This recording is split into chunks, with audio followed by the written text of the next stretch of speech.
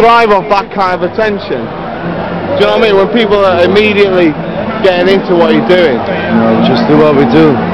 Oh, fuck off, don't lie. No, that's Stop it. fucking lying, no.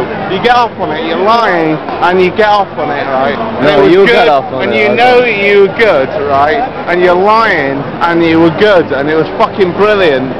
Come on!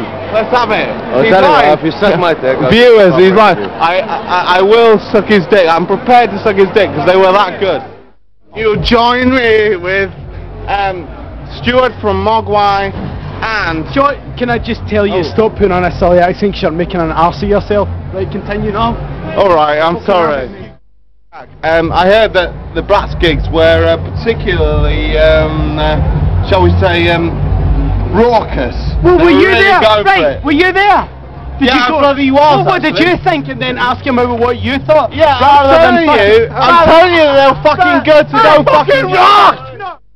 I have reason to believe that you were the chemi- Chemical Brothers tonight. Well, we were asked to uh, stand in for them. You know, it was likely candidates, one tall one, one short one.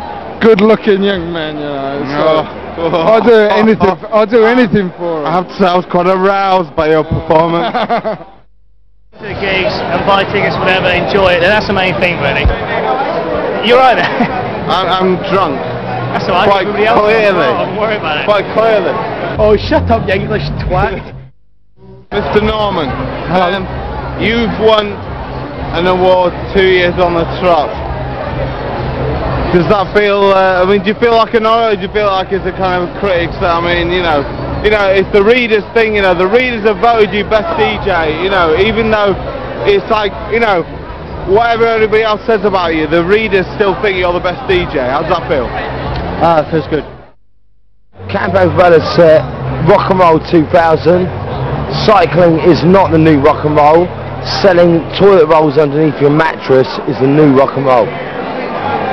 Putting toilet rolls underneath your mattress is the new rock and roll. What are you talking about? You said you heard that they were so and so. Why don't you fucking say him, I thought it was this, and did you agree with me? Because that would be a much more honest way of looking at then. Right, what the fuck else do you want? We want, we want. No,